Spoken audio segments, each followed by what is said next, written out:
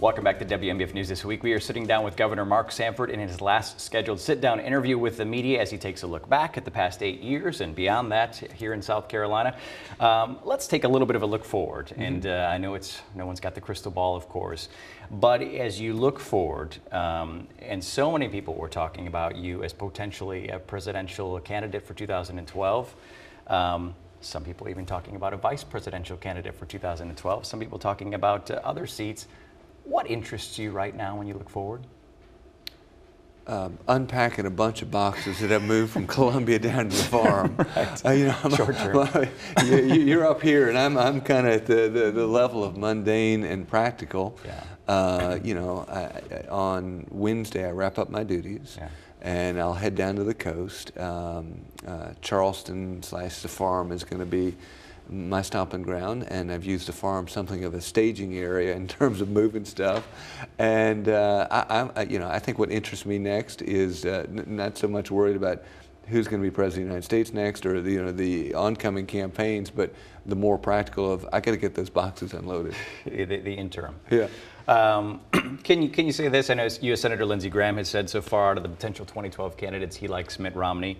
Um, of any of the names that you've heard thrown about, are there any that uh, seem intriguing to you at this point? And I know it's early. Yeah, but, uh, I've not really, uh, uh, you know, we've been really, really busy throughout the fall. We've been busy wrapping up shop. We've been really busy in this last week saying goodbye to a bunch of folks that mm -hmm. have been mm-hmm. blessed to meet here over the last, you know, um, eight, ten, or 17 years, as the case might be, in the world of politics. Um, and so I've not given it a lot of focus. Uh, I think that uh, you know there's already a stable of candidates going. I suspect there'll be many more before it's all said and done. It sounds like there's going to be a bunch of people running. Each time you pick up the paper or hear a news report, it seems like there's somebody else that's thinking about running. Mm -hmm. So you know I'm going to wait and see who all's in, and then you know I know many of these guys. Many of these guys either served in in the governorship with, or I got to know them during my experiences in Congress. And uh, we'll wait and assess as, as we get a little bit closer to uh, when all that heats up, which isn't far away. Yeah, so you're not going to give us a name that you like. not at this point. not right now. Um, looking forward, does it, can you at least say whether uh, politics on some level seem appealing to you? Uh, having it been in your blood this long, I would think it'd have to be, but maybe not. Would you think maybe the business world uh, seems more appealing? Well, I came from business and I intend to go back to business. Um, there have been a variety of different side detours that have taken me out of business and into the world of politics. But you know, when I got elected to Congress, I said if I got elected, I wouldn't stay more than three terms, which is six years, and I'd come home. And I did just that. I, I called it quits after three terms. Uh, and then, you know, I got, you know, a group came and said, can we have lunch? Yeah, we can have lunch. And they approached me about running for governor. One thing led to another, and here we are. Um, I think that life has a lot of different turns and twists to it. You take it a day at a, at a time. I would say it is my intent to go back into the world of business, but you never say never. Now, when I say you never say never, you at that point say, well, you're thinking about running for office. No, I'm not thinking about running for yeah. office. I think I'm going back into business, but I don't have a plan, and I'm going to figure it out over the next couple of months. Yeah. Uh, I do want to jump back to something as far as uh, you know your efforts in the past eight years. The campaign was all about reforming state government, of course. Uh, you touched on a couple of items. Is there anything that you feel could have been done further under your leadership? And, and, of course, the thought was, unless the Budget and Control Board is abolished, there's not a lot that can be done. Mm -hmm. But, but looking back, I did want to ask, uh, could more have been done, or do you feel like your hands were tied?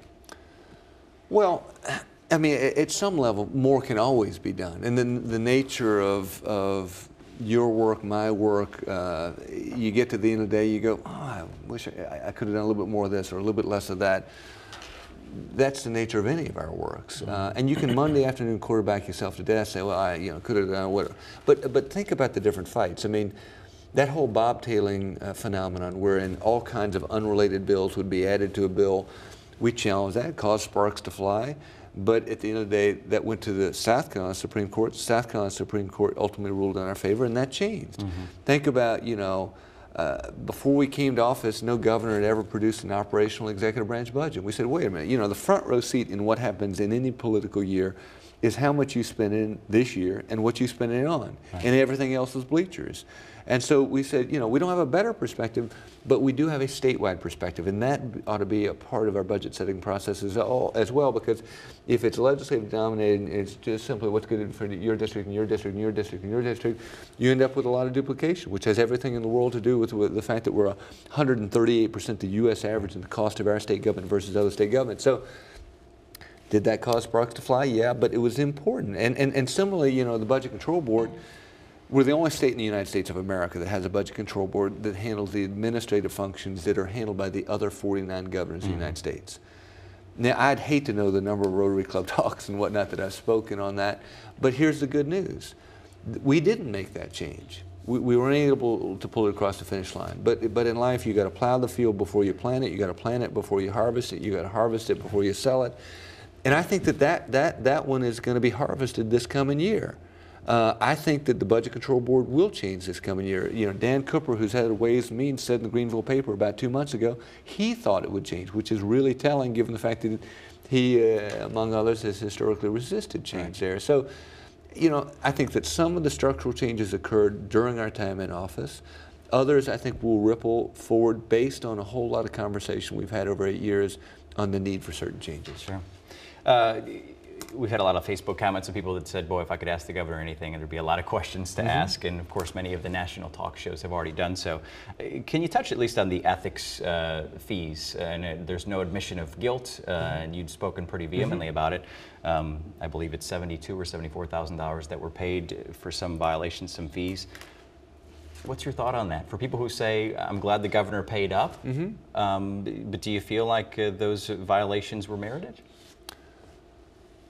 You know, y- y- you can't win in those things, and that's why we ended up just saying, you know, I, I, I can't win. Let's just pay. But but but but keep in mind, I, I was in technical violation. I used business class tickets, uh, going on, you know, business trips to to Europe, to to you know China, go down the list. Um, but every governor for the last 30 years has traveled business class on, on making these, you know, investment trips. They, they, and there's probably a reason for doing so. You fly all night to Europe, you, you land that morning, there's a car waiting for you, and you're going to your first appointment at 9.30 that morning to a breakfast mm-hmm. meeting, and you're busy throughout the day. And the idea of getting a little bit of sleep, before you go and try and sell South Carolina to some for, you know foreign corporation is probably a, a, a good idea. Um, The investment versus the potential yeah, loss. and, and so and so I didn't think twice about it. It's the way again every governor, uh, every secretary of commerce. Um, you know, a long list of House and Senate members have traveled business class on those kinds of trips. In my case, they said, well, you know, that was a break to the law. Uh, Our point was, well, then why didn't you prosecute for these other 30 years? But it was what it was. It was a mess. And we just figured, let's just move on. We're not going to win this, and let's call it quits. Yeah. But, you know, anytime you're explaining the world of politics, generally you're losing. And, you know, it was one of those we didn't think we could win on, so we moved on. For someone who says, though, Mark Sanford is such a fiscal conservative, slept in your own office uh, Mm-hmm. in Congress, pinches pennies, whether they're his own or the state's. Um, boy, this doesn't seem like Mark seems like even though he probably needed the sleep to sell the state, he would just be nickel and diming everybody, including himself. What do you say No, I believe me. You can talk to the agents how we could turn off the car when I'm not. You know, we're in it. And it'd be August, and they're like, "Oh, you out of your mind?" We're normally used to keeping the car running. I, I've done. I know penny pinching, and I've done it all of my life. My dad beat it into me. My dad was a Depression era guy, and he Yeah. said, "Empty rooms love darkness," and there was a fly swatter on a risk if you know we didn't turn off the light. I mean, I know penny pinching, but at times you can be penny wise and pound foolish. Mm-hmm. And I would say this to any future governor the idea of getting on a plane, not getting any sleep, looking like you've been drinking all night, and stepping into a corporate boardroom the next morning at 9.30 is just not a good idea. And think about the, the in other words, you're talking about a little bit more.